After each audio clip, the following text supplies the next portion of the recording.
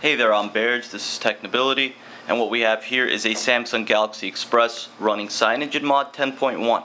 Uh, this is the latest version of the unofficial CyanogenMod 10.1 for the Galaxy Express for AT&T. So this is the AT&T version. It's not the uh, it's not the international version. You can see the AT&T banding right there up top. Okay, so basically 4.2.2. All right, so this is stock uh, Android with uh, CM10 flavor and basically installing this uh, is, is kind of a uh, pain I suppose. There's a few steps that you have to take in order to root it and then install SuperUser. I mean it's not that hard actually.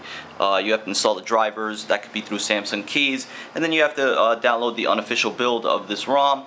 And of course at that point you have to um, install GApps which is Google Apps. So what I'll do is I'll post a how-to below for all you guys with the Galaxy Express who are looking to root it and install this ROM or any ROM for that matter, just uh, looking to root the device.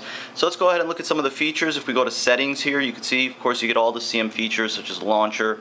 Uh, you get the home screen features, which you can change the grid size, the number of home screens. You could stretch the screens, which basically uh, takes the icons and uh, fits it to the aspect ratio of the display. You could change the transition effects. There's various different transition effects. Let's say I do stack here.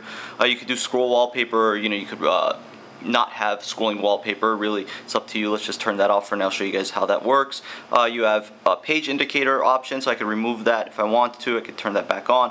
Of course, you have app drawer options, so you can do orientation, choose which way the drawer scrolls, hidden apps, uh, jo join with apps in terms of the widgets, uh, which is basically the secondary uh, notifications. When you open the notification drawer, uh, you got transition effects with the scrolling of the app drawer. You got indicator, whether or not you want to show the indicator. A lot of features here. You got features with the dock as well uh, pages, icons, etc. So if you want to add pages to the dock, you can just swipe them over and add pages there. Uh, generals basically auto rotate, uh, lock home screen and full screen mode. Uh, you have lock screen options as well, various lock screen options to add widgets. Of course, there are lock screen widgets. Let's go ahead and show you guys the lock screen widgets here. Okay, you can see these work perfectly fine. You can add lock screen widgets. If I swipe this way, you get the camera. Alright, so the lock screen widgets are available. And you have the shortcuts there as well on the lock screen. Let me show you guys the shortcuts here. So you have different shortcuts. These are customizable. Alright, so you got various lock screen options. You got themes, which you could download from the Play Store. There's plenty of free themes that are available in the Play Store. You could download those if you want to make it look like anything, literally. I mean, there's so many different themes. So check those out there in the Play Store. Just type in CyanogenMod CM10 themes and they should show up. Now, the system options are where it gets really interesting. Uh, you have status, status bar options. Uh, you have uh, various different status bar options in terms of changing the clock, putting a uh, percentage there. So if I go to battery style here, I could change it to circle with percentage and now basically I have the uh, percentage up there. So you can also do AM PM on the clock. Uh, if you go here to AM PM style you could do a small AM PM on the clock. You can see that right there. Alright you got quick settings panel obviously which is the secondary. You can customize that. Add and remove as you so please. You got notification drawer options uh, expanded desktop power menu um, power menu which would be this so you can actually add things there, remove things there. Clock widget, notification light, hardware keys. Okay, so a lot of options here, and that's what CM is all about. CyanogenMod is all about the options, and obviously you have all other uh, stock Android settings here. Of course, you have super user down here. Alright, so that's where super user is going to be located. If you're looking for developer options, if you go to About Phone, just keep clicking on build number, you will have enabled developer options, so they're right there. And if you want to speed up your phone, um, if you know if you want to make it any faster than this is than this already is, which we'll get to in a minute, uh, you could change the transition speeds to 0.5, and that would speed it up just a little bit more.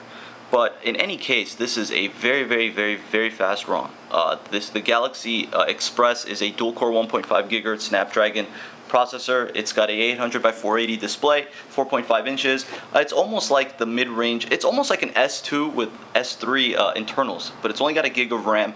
Um, really it's a pretty solid phone for what it is and how much you know you could buy this for on and off contract uh, the international and the AT&T version but it's a very fast phone I mean this is just basically first first boot so just literally installed this and you could see scrolling through screens and scrolling through the app drawer and opening applications.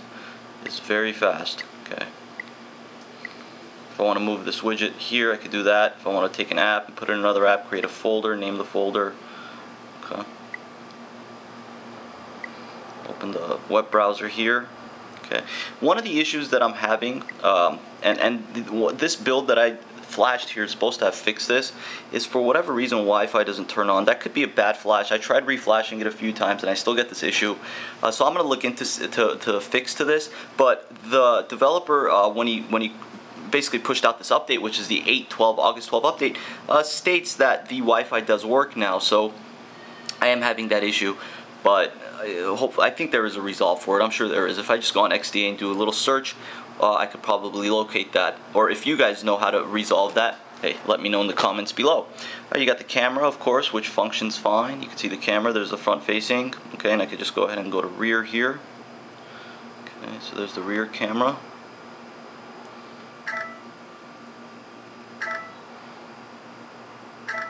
Alright, so you have camera and you have uh, panorama and you have video, of course. If you swipe over, you got all your pictures right there. Uh, you got the sharing options right up here, which uh, sync obviously with third-party apps. Of course, you have filters as well and uh, different editing options. So you can see the filters right here, various different editing options. You also have Apollo, which is CyanogenMod's music player, so that comes with it as well. Uh, file Manager, which is CyanogenMod's file manager and GApps when you install Google Apps 4.2.2 uh, you're gonna get all the basic apps here. So Play Store Gmail uh, Maps. Oh no you don't even get Maps. Okay so Calendar Talk etc so you're gonna have to download Hangouts and everything else through the Play Store uh, manually. So FYI on that. Now if I want to just take a widget here say calculator, put it right here, there's my calculator. Now here's an issue when you first flash this ROM, or in almost every CM ROM, uh, you get a force close when you try to click here, you see that? You try to go to Google Now, force closes. There's an easy fix for that. Immediately after flashing it, log, um, sign into your account, go into the Play Store, and update search. Alright, see now if I click in the search box, it works. If I click on the little microphone, um, you get a force close. So if you go and update search through the Play Store, that will be resolved. You can see obviously the multitasking instead of having to do them one by one. You, know, you can't do them by, by twos obviously. You could just push this button right here. That's that. If I hold down, no recent apps. If I double click, nothing happens. But that's customizable. If I hold the uh, menu button, you get Google Now.